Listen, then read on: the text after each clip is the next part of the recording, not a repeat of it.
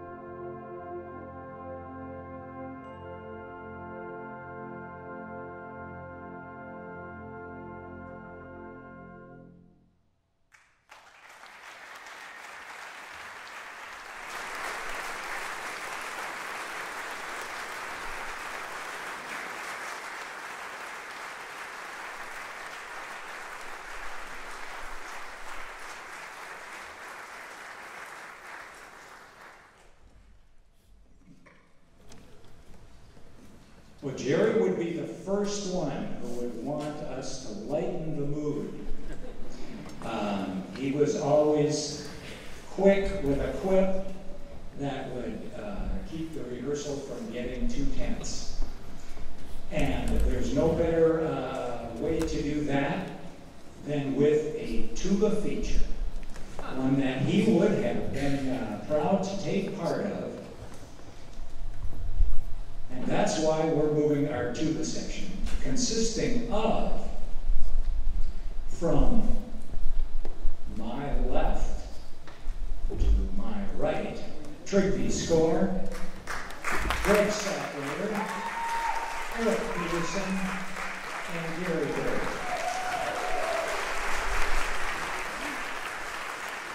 Joined by Patrick Sheridan on a piece called Basses Berserk.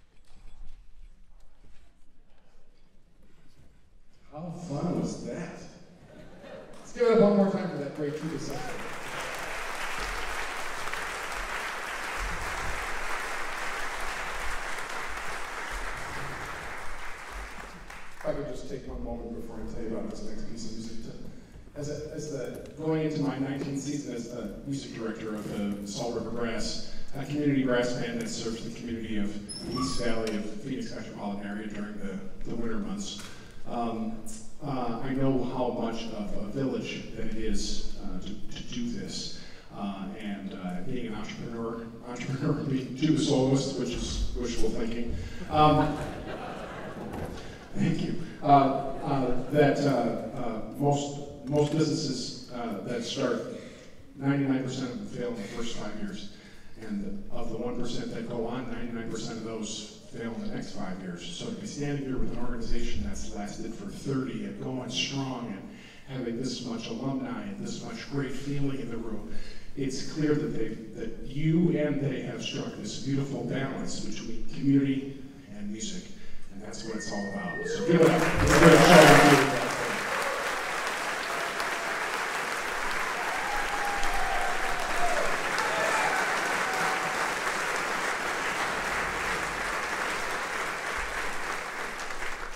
People ask me all the time, how come the tuba?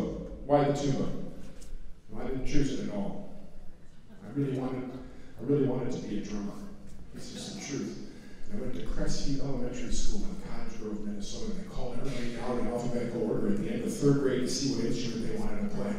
And I band director, James Baldriga, since kindergarten, every single day at, at, at recess and at lunch to play the drums. So on that day, I marched in with my drumsticks ready to go. They were actually twigs from outside. He said, what are you going to play? I'm going to play the drums. He's like, we have 11 already to begin the band. Because 12's too many.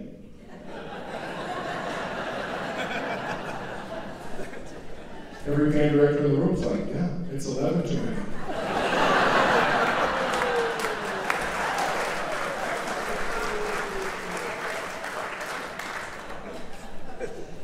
So he went around the room. He said, There's nobody playing this instrument. Uh, actually, that's, that's not entirely true. Actually, what I really wanted to play was the violin, but I like to play with fire so much. My parents had called ahead and said, Listen, don't let him have a combustible instrument. my mom's a painter, my dad's a plumber.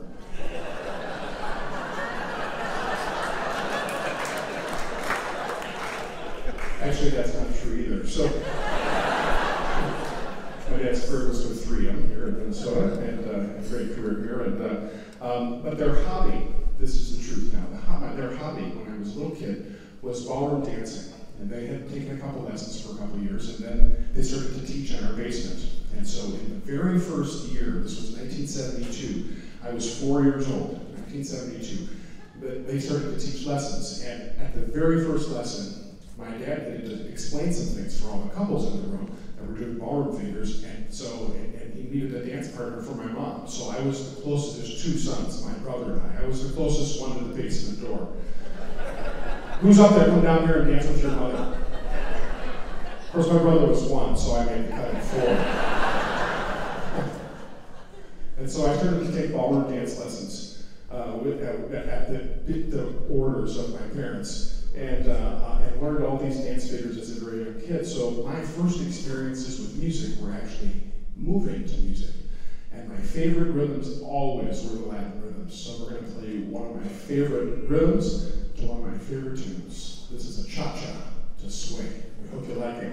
And if you sign the liability form, you're allowed to dance in that house.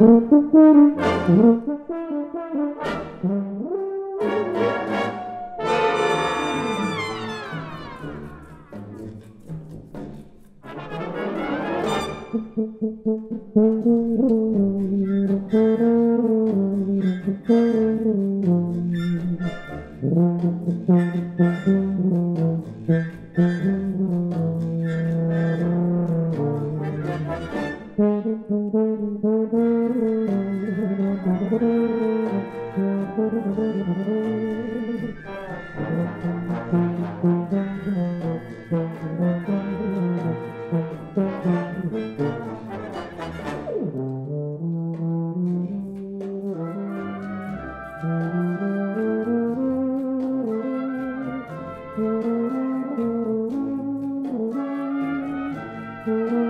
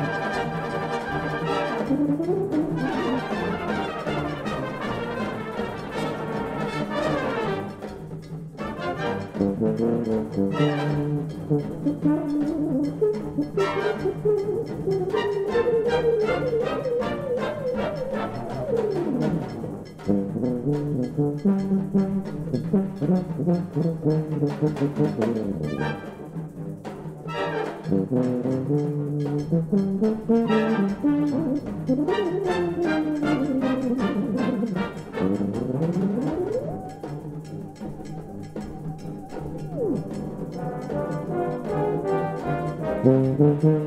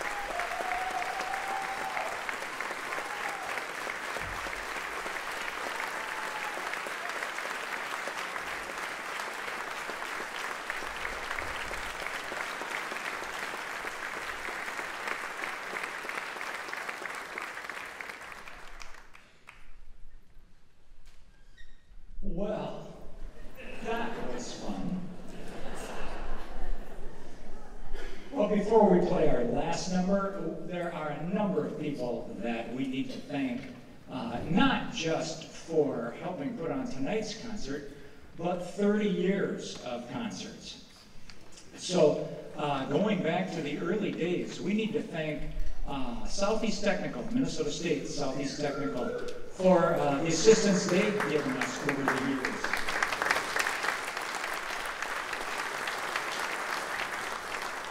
We would like to thank Red Schools for uh, loaning percussion equipment and stands and uh, trailer every once in a while and other things that have really helped, uh, helped our lives uh, go a lot easier.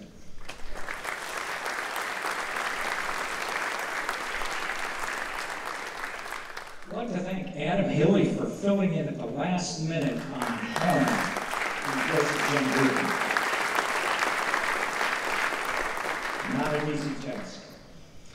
I'd like to thank uh, Maria Olson uh, for all her graphics work and the programs and posters and everything that she does.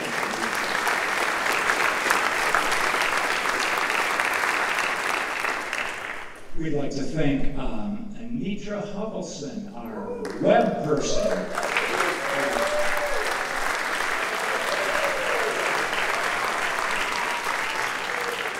Who keeps you informed of everything that we're to if you're on Facebook or our webpage. So thanks a lot, Anitra. We'd like to thank uh, Staghead for hosting our reception after we get done. We'd like to thank uh, John Rusterholz and friends, the TV crew that you see filming tonight's concert, um, which hopefully uh, will be available on uh, uh, cable outlets and uh, DVDs around town uh, pretty soon. So that's always a lot of fun. Thank you, guys.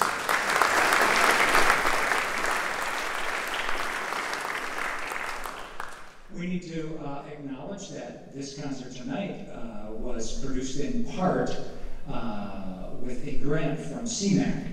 Um, and that, of course, comes from the Arts and Heritage and Cultural uh, Legacy Fund Amendment. So thank you, taxpayers and voters, for that.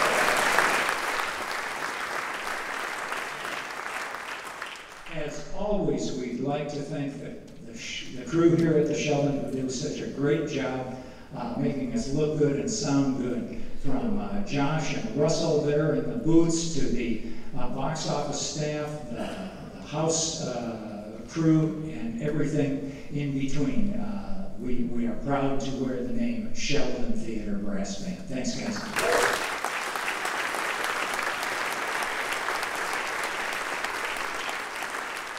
We are so grateful for Pat Sheridan and, of course, his uh, sponsors, um, Hercules, uh, KHS, and Jupiter Instruments for uh, helping to make this po- possible, too.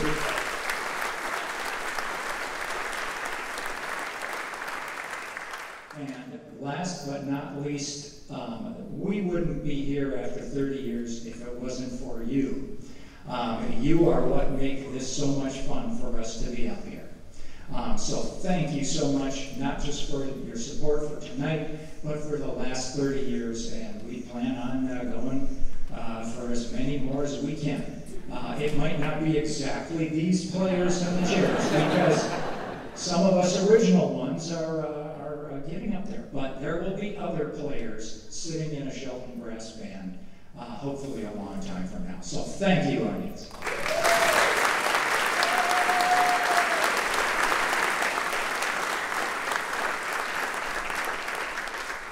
Well, for our last member, uh, we thought just there's an chance that in the audience there may be a few people of Norwegian heritage.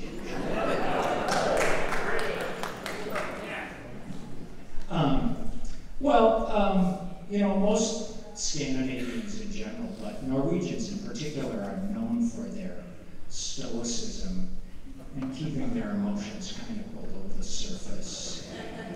Very practical and uh, all that kind of stuff. But nobody has really, or at least until now, given, given voice to that particular part of the Norwegian psyche, the funk. And, and this comes from a very Norwegian composer, Torstein Aagaard-Nilsen. He's got four A's in the first half of the second name, so you know it's And he actually used one of the same tunes that Edvard Grieg used in his Norwegian dance, but it didn't sound much like this. Here is Torstein Aagaard-Nilsen. Get in touch with your funk side, Norwegian dance.